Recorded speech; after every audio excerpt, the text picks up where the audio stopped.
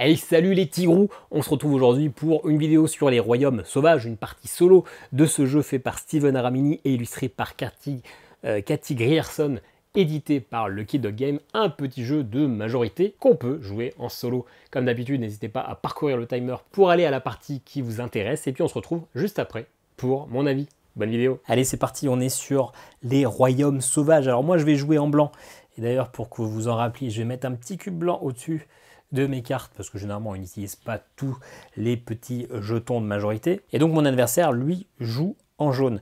On a ici la pioche, on a surtout le plateau principal qui est euh, divisé en 5 régions pour lesquelles on va se battre pour la majorité. Vous voyez qu'il y a des régions avec 4 zones, des régions avec 5, 6, 7 et 8. On a également des capitales et puis la région des conseils. Comment va se jouer un tour? Eh bien déjà, je vais commencer mais aux différentes manches, parce que le jeu se déroulera en trois manches, c'est celui qui sera le plus en retard au niveau du score qui commencera. Moi, je vais avoir trois possibilités. Soit je vais revendiquer un territoire, et pour revendiquer un territoire, je vais jouer une de mes quatre cartes dans un des territoires, mais pour jouer, il faut que ça corresponde au décret en question. Vous voyez qu'ici, il faut que je fasse une suite de 8 à 1 sans sauter de valeur, donc en descendant. Ici, il faut placer une carte d'une même espèce ou de la même valeur que eh bien, la carte qui est située euh, juste en dessous. Ici, il faut que des espèces différentes par rapport aux cartes qui sont en dessous. Ici, il faut une carte de la même espèce ou de la même valeur qu'un des deux voisins. Et ici, que des valeurs différentes dans la pile qui sera en dessous. D'ailleurs, vu la disposition, ça ne va pas m'arranger puisqu'il faudra de la place pour le laisser en colonne.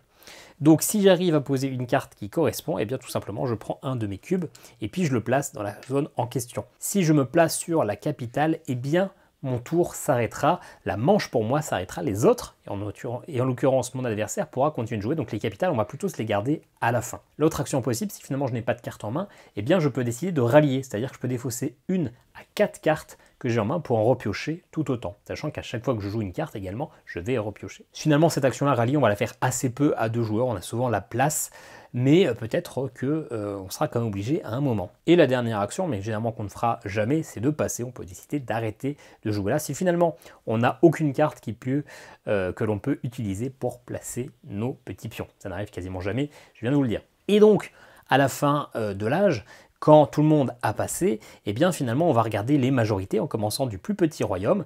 Celui qui a la majorité, eh bien il prend le petit jeton qui a été tiré aléatoirement qui va nous donner nos points pour cette manche. S'il y a un deuxième joueur qui a du coup la deuxième place en la majorité, il va gagner 3 points.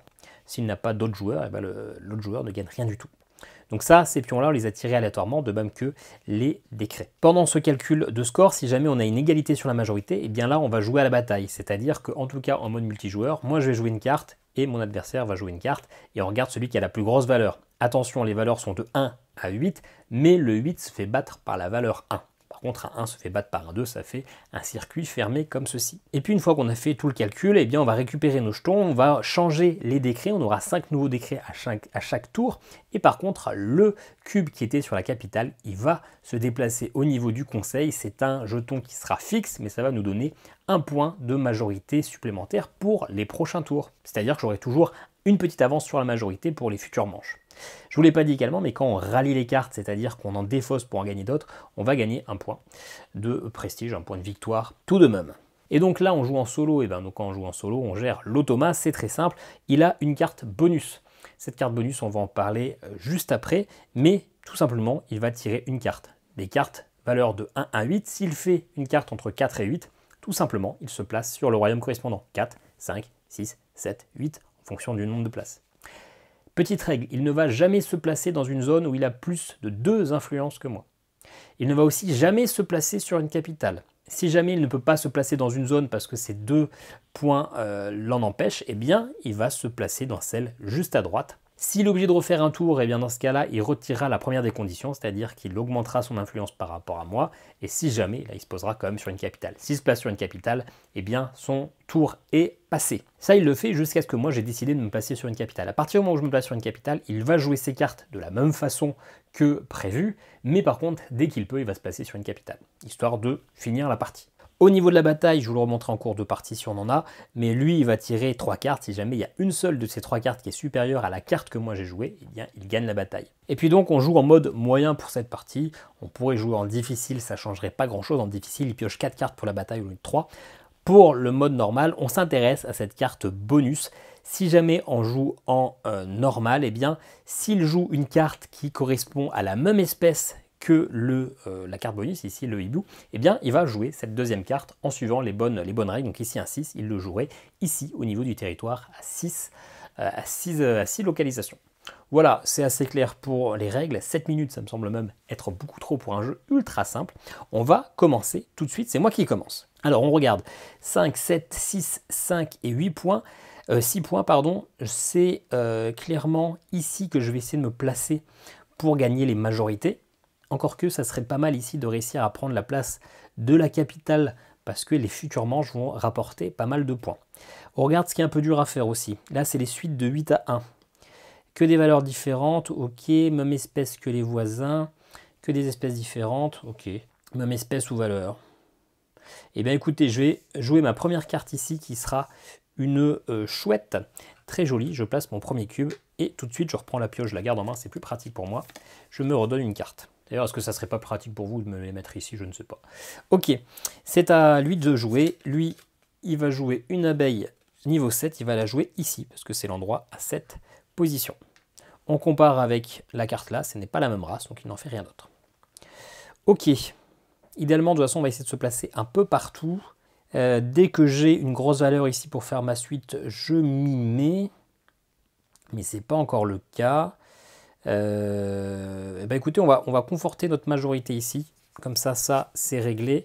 On va jouer, hop, une chouette et je repioche une carte. À lui de jouer. Il va jouer un 3. Un 3, il se place exactement au même endroit que moi. Hop. il faut que je les mette comme ça pour qu'on puisse bien voir pour les conditions ici. Donc, il place un cube jaune. Et donc, c'est exactement la même race. Donc, il va jouer cette carte-là. On a dit que c'était un 6. La 6 se met ici. On lui pioche tout de suite une nouvelle carte bonus pour ses prochains tours. Alors, est-ce que j'ai récupéré un 8 Non, mais j'ai récupéré un 7. Donc je vais me placer ici, c'est pas mal. Hop, c'est une belle valeur pour commencer une, suite tranquillement. Et là, je ne dois pas sauter de valeur, hein. donc c'est un 6 que je devrais mettre en tout, donc ça ne sera pas tout de suite. Lui, l'automa, va pas avoir trop de difficultés, il s'y mettra un peu quand il veut. Il va jouer un 8, et bah d'ailleurs, hop, il la pose par-dessus. Et donc finalement, ça refait repartir de 0 la zone. Ce n'est pas la même race. À noter que si je jouais en difficile, on prenait aussi la valeur en compte. Mais là, on joue en moyen pour la partie. Ok, alors euh, je vais me placer quand même un petit peu ici. Tant qu'il n'y a pas trop de cartes. Et je vais placer un 3. Lui, il va jouer un 1, donc il se met au même endroit que moi. Il reprend la majorité. Et ce n'est pas la même chose. Écoutez, je pense que je vais me batailler un peu là encore. Je vais remettre une carte euh, que des valeurs différentes. Donc je peux mettre un 5 et un 2. Je vais mettre mon 2. Hop. Allez, pour simplifier la, les majorités, je me, répartis bien sur le plateau, gauche et droite, etc. C'est plus simple, plus lisible. À lui, un 5. Donc le 5, il va se mettre ici. Que des espèces différentes. Bah, d'ailleurs, on va s'y mettre. On va s'y mettre. On va mettre ce petit euh, wapiti là. Hop se mettre comme ça. J'aime beaucoup les illustrations, hein. je trouve ça euh, très très mignon. Le jeu est assez simple à comprendre. Euh, ceci dit, euh, le mode solo, bah, c'est un mode solo, hein, donc c'est clairement pas le jeu qui est le plus fait pour ça. C'est probablement plus sympa à 3, mais je trouve que ça se joue bien. Vous allez voir, c'est assez fluide. Moi, je trouve que c'est assez mignon. C'est une petite partie de 20 minutes, donc c'est pas prise de tête. On, y joue avant de, avant de manger tranquillement. C'est ce qu'on fait d'ailleurs aujourd'hui, enfin pour moi, quand, au moment où je tourne. Euh, alors là, il commence à prendre, il faudra que je me pose au moins un pion, parce que s'il y a une zone où j'ai pas de pion, bah, finalement, bah, je gagne pas les 3 points minimum, je gagne 0. Et là, c'est même espèce ou même valeur que la dernière jouée. La dernière jouée, c'est la 2 et la 1. J'ai pas de 1, j'ai pas de 2, j'ai pas de grenouille, j'ai pas de wapiti. Donc pour l'instant, je peux pas me placer ici. Euh, je peux essayer de prendre la majorité ici. Ici, j'ai toujours pas de 7. Ici, pour l'instant, on est à égalité, pas de stress. Bah écoutez, je vais me mettre là, des espèces différentes je vais me mettre un loup. Comme ça, l'avantage, c'est qu'au prochain tour, je pourrais mettre l'autre loup ici euh, par mimétisme. Lui, un petit wapiti. Le wapiti le place en 6. Et puis, pas de chance, c'est un autre Wapiti, ou un Dain, je ne sais pas. Donc il peut placer un deuxième jeton et prendre la majorité. Aïe. Et moi, j'ai toujours pas de 7. Hum, hum, hum, bon, je vais me placer mon petit 4 là, dans tous les cas. Même espèce que ici. Ça marche. Je me battrai jamais pour la majorité ici, mais au moins je gagnerai minimum 3 points parce que je suis placé. Hein. Lui, un petit lézard, et eh ben, il se met ici pour le lézard. Il rééquilibre que des espèces différentes. Si je mets un tigre là, je termine la partie. Donc c'est pas, ça vaut pas le coup. Euh, on va essayer de se placer un peu ici pour prendre la majorité. Ah ici je peux encore récupérer. Hein. Euh, je peux encore récupérer avec ma grenouille. Et après je peux terminer là. Je sais pas si c'est ultra rentable. Ici que des valeurs différentes. 7, 3, 1, 2. écoutez, je vais placer mon 5 pandarou ici. C'est une valeur différente, hein, on n'en avait pas encore. Et là, hop, je prends une petite majorité. Ah, j'ai un 7 pour me mettre ici, c'est parfait. Un 3, il se met au même endroit que moi. Ok. Moi, du coup, on a dit que je me mettais ici. J'égalise. J'aurai pas de 6, donc je vais pas pouvoir me mettre tout de suite, mais bon. Un 5. Alors 5, il est censé se mettre là parce que c'est celle avec 5 places. Sauf que il va jamais se mettre sur une capitale si moi je ne l'ai pas encore fait. Donc il va se déplacer, il va se mettre juste à droite, et c'est sûr qu'ici du coup je n'aurai jamais la majorité. C'est pas dramatique. Euh, par contre maintenant il reste que des places ici, mais je ne peux plus me placer. Donc soit je rallie, je défausse des cartes pour euh, en récupérer une autre et je marque un point de victoire, soit finalement on va essayer de clore la partie, clore la manche, parce que lui aussi, si je fais ça, il va très rapidement la clore. Euh, est-ce que j'essaie pas de finir? Non, je vais peut-être essayer de, me placer ici, histoire d'avoir un d'avance pour les futures manches, parce que ce sont des grosses valeurs, 9 hein, et 10. Hein. Il n'y a qu'un seul 10 et il est ici, donc il faudra que je le gagne. Euh, donc même espèce ou valeur que ce qui est en dessous. il n'y a eu que des hiboux. donc d'ailleurs c'est comme ça la dernière. Un hibou ou un 3, bah, je vais jouer un 3. Hop Donc je me place ici. Je repioche quand même ma carte, hein, il n'y a pas de a pas de raison. Et puis, bah c'est un lui, il va tirer sa carte comme d'habitude, un 7. Le 7, c'est ici. Il peut la placer parce qu'il va essayer d'absolument se placer sur une capitale. Voilà, fin de la manche. On va pouvoir compter les points. On commence par cette partie-là. Je suis majoritaire, donc je prends cette première tuile. Et donc je me marque mes 5 premiers points. Lui, il est présent quand même, hein. donc il en marque 3. Je suis sur la capitale, donc je me place au conseil des anciens. Ici, on a égalité. Je peux déjà récupérer les cartes en tout cas. On a égalité, donc on va faire une bataille. Euh, alors, on peut se batailler ici, on va surtout... Non, ici, on se bataillera pas, on va se batailler ici aussi. Et moi, j'ai bien envie d'avoir la majorité là. Euh, par chance, j'ai 2 8, donc finalement, je vais claquer un 8. Je claque un 8 pour cette première majorité. Qu'est-ce qui peut battre un 8 Un 1-1. Et lui, il pioche trois cartes qui seront ces trois cartes-là. Normalement, on les révèle tout en même temps, mais pour le stress, moi, je vais le faire une par une. Un 7, pour l'instant je gagne toujours. Un 4, je gagne toujours. Et un 5. Ok.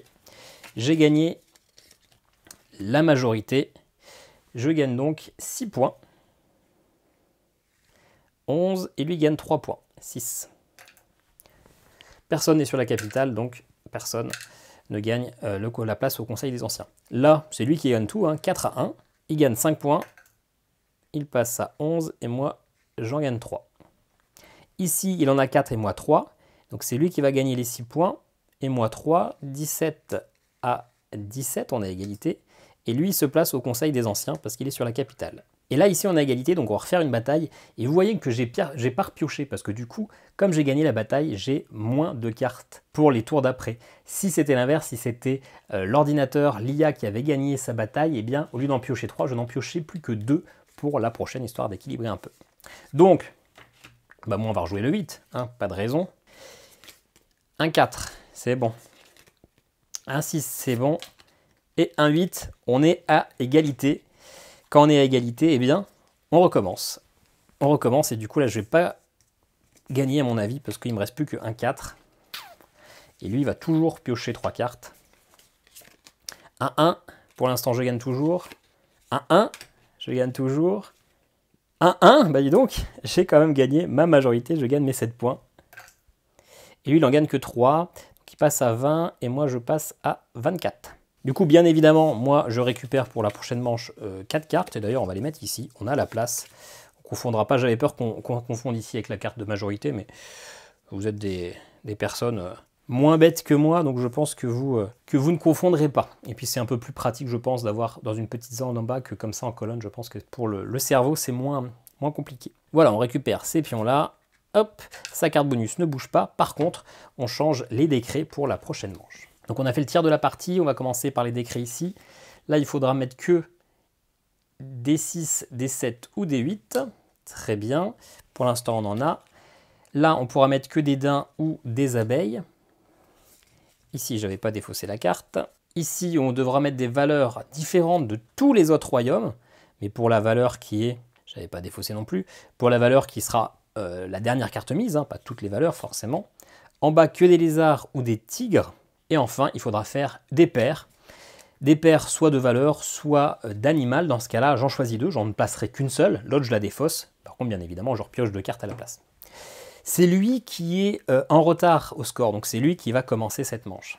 Hop, il va jouer un 4 et donc il va se placer ici, mégalisant pour l'instant. Moi écoutez, pour l'instant, ici je vais mettre ici parce qu'il faut un 6, un 7 ou un 8 et pour l'instant j'ai pas d'autres cartes euh, accessibles qui peuvent me valider ça, donc je vais me placer.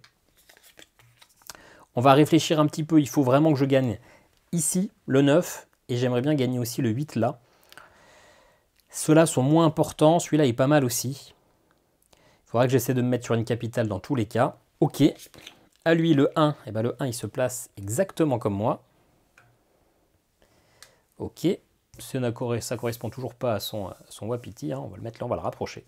Ok, euh, on a dit qu'on voulait se mettre là, ici on ne peut pas faire grand chose. Ici une paire, je pourrais le faire, comme ça je reprends de l'avance. Euh, ici, ce sont des valeurs différentes des autres royaumes, et autant peut-être le faire tout de suite, tant qu'il n'y a pas beaucoup de cartes. Donc c'est ce qu'on va faire, je vais jouer ma grenouille là.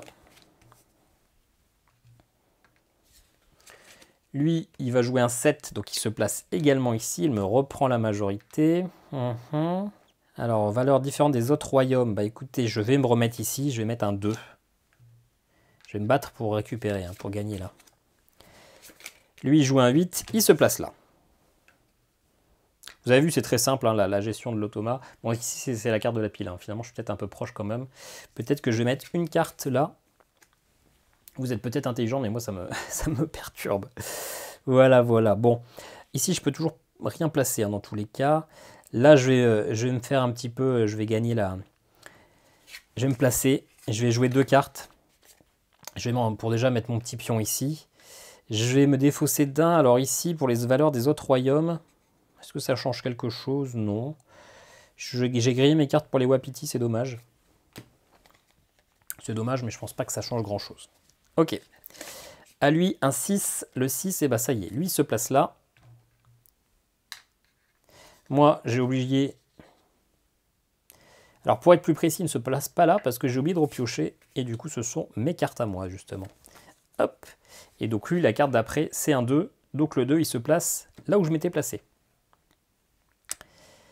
Ok, donc là, on va se battre. Ici, je peux pas me placer. Ici, je peux mettre un 6. Ici, pour l'instant, c'est ok. Là, je peux pas me placer. Euh, donc, je vais placer un loup. Là. Hop. Très bien. Lui, il va jouer bah, au même endroit que moi, parce que c'est une carte de 1 à 3. Très bien. Donc là, c'est bloqué. Sinon, on finit le tour. Là, je peux toujours pas me placer. Euh, là, je peux pas me placer. Donc, il faut vraiment que je me mette là. Sinon, je serai obligé de rallier. Alors, une valeur différente des autres royaumes. Euh, bah, je peux mettre ma petite grenouille. C'est un 6. Ça marche très bien. Hop. Et je pioche un 8. Ça m'arrange toujours pas pour ces deux zones-là. Lui, il joue un 1, donc il se met aussi là. Ok. Bah écoutez, je vais continuer de me battre pour aller là. Euh, le 8, je peux pas le mettre. Je peux mettre un 7.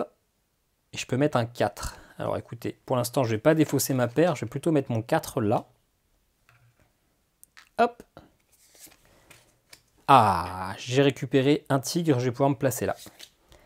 Un 8. Il a la même idée que moi. C'est pas grave. Alors, je lui ai pas fait de, de Wapiti, lui Non. Bon. Je me place là aussi, un 2.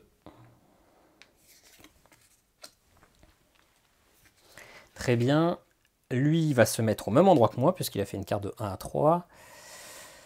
Hmm, il est en train de prendre la majorité ici, ça me plaît pas trop. Euh, je peux aller me mettre ici, allez tiens, ça c'est très bien. Pour l'instant, en plus, il n'y est pas placé, donc pour l'instant, il marque 0 points.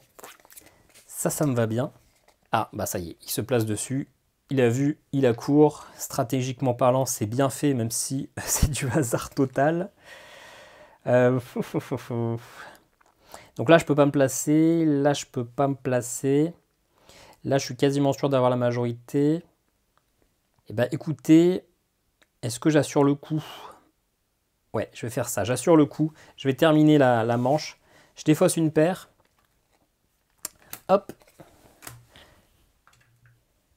Donc moi, je jouerai plus. Je suis sûr d'avoir la majorité là, d'avoir mon 9. Et en plus, comme ça, euh, je serai quasiment sûr d'avoir le 10 aussi parce que j'aurai mes deux au conseil pour la prochaine manche. Lui continue de jouer. Le 4, il était censé se placer là. Il peut pas. Donc il se place juste à droite et lui aussi il termine prend la majorité sur le royaume vert. Ok, allez, et eh ben on compte euh, les points. Ici, on l'a vu, j'en ai trois, il en a deux. Je place lui au conseil. Et je gagne mes 9 points. Ça, c'est pas mal. Je passe à 33 euh, et lui il prend 3 points. Ici, c'est lui qui a la majorité. 3 contre 2. Il se place au conseil et il prend 6 points. 29 à 36. Là, on a égalité. Donc, on va faire une bataille. On va faire une bataille et je ne me suis pas récupéré mes cartes euh, après avoir fait ma paire. C'est important. Donc, bataille. Est-ce qu'on fera la bataille ailleurs? On fera la bataille ici? Non. Là, je suis majoritaire. Là, je suis non. Donc, autant prendre ma plus grosse carte. Je vais jouer mon 8. Mon 8 à la manière belge. Mon 8 loup. Alors, il n'y a plus de cartes dans la pioche. Donc, tout simplement, on reprend la défausse et on la remélange. Alors, les trois cartes sont là. La première, 7, ça tient.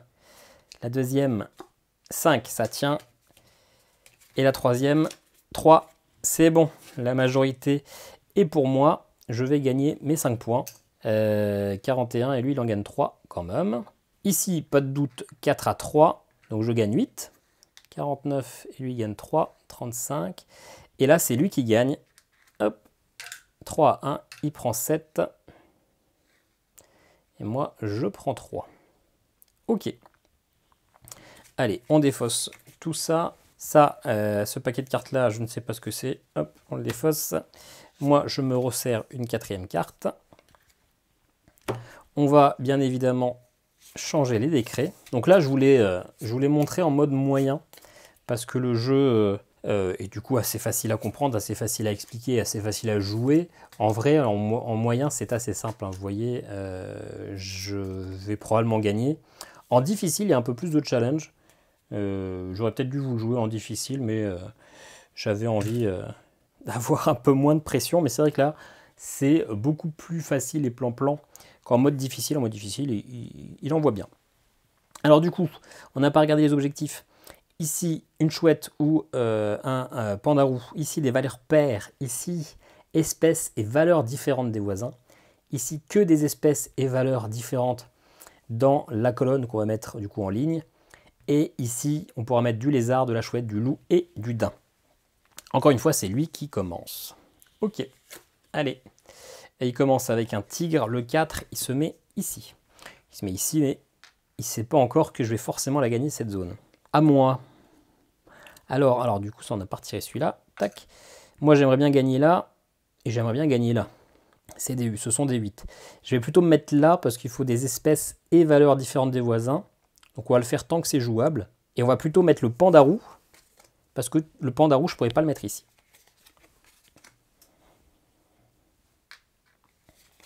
À lui, il va jouer lui aussi en 5. Il reprend la majo. Euh, eh bien écoutez, on va le refaire on va rejouer... Ah non, le 4, je peux pas. Bon, pour l'instant, je vais mettre une abeille là. Hop. Euh, c'est quoi ces cubes? On a déjà joué là? Non, bah non, on n'a pas joué là. Ce sont les cubes de la manche d'avant. Hop. À lui, il joue C'est quoi aussi cette carte que je lui ai mise là? Ça sort tout. Où est-ce qu'il y a un 5 abeilles? Ah oui, c'est... Euh, ça sort d'où ce 5 d'abeilles? Ah oui, bah c'est le 5 que j'avais mis là. Pardon. Hop. Euh, du coup, il se place au même endroit que moi, le Wapiti. Donc il se met là. Et puis, il avait en carte bonus un autre Wapiti qui va jouer du coup bah, au même endroit, puisque c'est une carte numéro 2. Ok, nouvelle carte bonus pour lui, la chouette. Ok, donc euh, là, je peux pas me mettre dans tous les cas. Là, on va essayer de se mettre pour le contrebalancer. On va mettre une carte que je peux pas jouer ailleurs. Ici, il faut que du pair. Donc ça, je pourrais pas le mettre. Ah ouais, on va mettre mon euh, loup ici. Ouais. Lui, il se met en 6. Donc ici, il va me le gagner quasiment quoi qu'il se passe.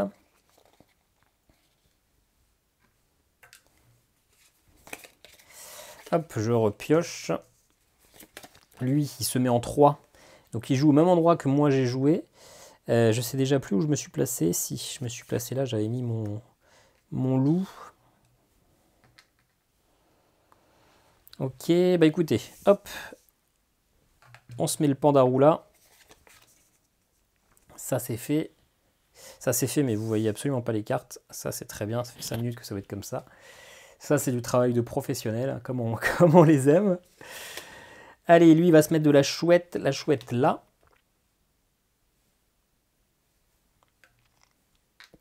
Et en plus, il va pouvoir jouer son autre euh, chouette carte bonus ici. Aïe, il m'égalise là. Il m'égalise là, donc il faut que j'aille me placer, hein, histoire de, reprendre, reprendre, reprendre. Et je vais jouer ma grenouille. Non mais, il se prend pour qui? À lui, eh ben, il aurait bien aimé se placer là, mais du coup il peut pas. Il se met juste au-dessus. Là, c'est quasiment cuit. Il faudrait que je termine totalement. Là, c'est quasiment cuit. On va se placer sur les deux là. Là, je peux pas. Bah, du coup, je vais aller mettre euh, ma grenouille. Mon lézard, pardon, pas ma grenouille, non, mon daim. Ouais, allez, mon daim. Je sais pas si ça change quelque chose. Je joue un peu vite. Hop. Égalité. Lui, il joue un 7. Il se met également là. Hmm, il me cherche, hein. Il me cherche. Euh, allez, je joue un lézard. Je la veux, cette zone. Lui, il joue un loup. Il la veut aussi, la zone. Aïe. Donc là, on est bloqué. Il n'y a plus que dans cette zone-là, on peut jouer facilement. Là aussi. Ouais, allez. Je joue ma chouette là. Lui, du 4, il voudrait se mettre là, il peut pas. Il veut se mettre là, il peut. Il peut pas, non, parce qu'il ne se met pas dans une place où il y a plus de 2 majorité par rapport à moi, et y a 3-1. D'ailleurs, je n'avais pas fait gaffe aux autres parties, ça trouve, euh, c'était le cas aussi. Là, il y a 3-1, donc il peut pas. Donc il se met finalement ici. Il se met ici. Hmm. Là, je peux plus me mettre. Là, je terminerai la partie. Là, ça serait euh, quasiment futile. Ah ouais, mais c'est futile de deux endroits. Alors, on va quand même essayer de se mettre là. Il faut une espèce et valeur différente des voisins. Je peux pas jouer de 6, je peux pas jouer de 8, je peux pas jouer, je peux jouer ça. Bah non. Ici, je peux pas jouer dans tous les cas. Et ici, que des valeurs, que des espèces et valeurs différentes. Hop. On va les laisser apparaître comme ça sur le côté. Donc je peux jouer mon 5 grenouilles là. Je pense que ça changera rien, pas grand chose parce que euh, à part que j'aurais peut-être dû quand même terminer parce que du coup il va sûrement se mettre là et, jouer à la bataille avec moi. Hein. Hmm, j'aurais dû chlore, je pense. 7, il se met là, il peut pas, parce que ça, il se mettrait sur une capitale. Donc voilà, comme je le disais, il m'égalise dans cette zone de majorité, ce qui n'est pas du tout à mon avantage. Surtout que là, je peux pas y jouer. Est-ce que maintenant, je peux me remettre là? Euh, Oui, je peux mettre un 6 Wapiti là. Après, c'est risqué, hein, parce que si, le risque, c'est qu'il me prenne la majorité là, du coup. Ah, par contre, j'ai un pandarou. S'il le fait pas, moi je le fais. Il veut se mettre là, il peut pas, il peut pas, il peut pas, donc il se met là. Moi je le rejoins quand même avec mon pandarou. C'est la bagarre. Et la mauvaise nouvelle, c'est qu'il va forcément se mettre là. Il joue, bah déjà, voilà, il se met forcément là, mais c'était sûr parce que c'est la seule place disponible encore. Donc finalement, il va avoir la majorité. Euh, là, pour l'instant, je gagne. Là, il gagne pour 8. Là, il gagne pour 7. Là, il gagne pour 8. Et là, il gagne pour 9. Donc, autant que j'aille me bagarrer pour me placer là. C'est un point de plus. Je peux pas. Ok. Ça, c'est réglé. Donc, on va essayer de se bagarrer pour aller sur les deux là. Ici, espèces et valeurs différentes des voisins. Je peux mettre ça. Allez, je me mets là.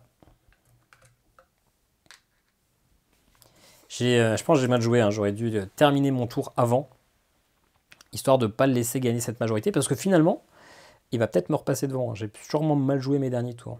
Euh, bah voilà, donc lui, il va se placer sur une capitale. Hein. La 7, bon, ça va, j'ai de la chance, il se place sur une capitale où il avait déjà la majorité. Ça ne change pas grand-chose du coup. Ok, alors on va compter les points. On peut déjà lui retirer sa carte bonus pour faire un peu de place. Ici, 3 à 2. C'est moi qui gagne. Je gagne mes 10 points. Et lui, il en gagne 3. Ici, 3 partout. On va donc faire la bagarre. Pour faire la bagarre, hop, moi je vais jouer un Wapiti. Lui, il en pioche 3. La première, un Wapiti 4. La deuxième, un Crapaud 2. Et la troisième, un Pandarou 5. Je gagne la majorité. Donc je gagne 8 points. Je passe à 70 et lui il gagne 3 points. 48. Ici, il gagne. 7 points pour lui, 3 pour moi. Ici, il gagne, il a 5, alors que je n'ai que 3. Moi, j'en gagne quand même 3. Et lui gagne 8 points. Il passe à 63. Il me rattrape. Hein. Il me rattrape, mais ça ne suffira pas. Ici, il est majoritaire, il prend 9 points, 72, et moi j'en prends 3, 79. Donc je gagne, j'allais dire de justesse, mais euh, finalement 7 euh, points c'est déjà, déjà pas mal. Mais je gagne ma partie en mode normal. Donc vous vous doutez bien qu'en mode euh, difficile, c'est difficile. Alors après moi je la joue un peu à la va-vite, hein. je compte pas forcément à fond les calculs, les machins, etc. Mais euh, voilà, en tout cas, vous savez à quoi ça ressemble. Vous savez à peu près à quoi pourrait ressembler aussi une partie multijoueur, parce que finalement, ça serait un peu le même principe, la même idée.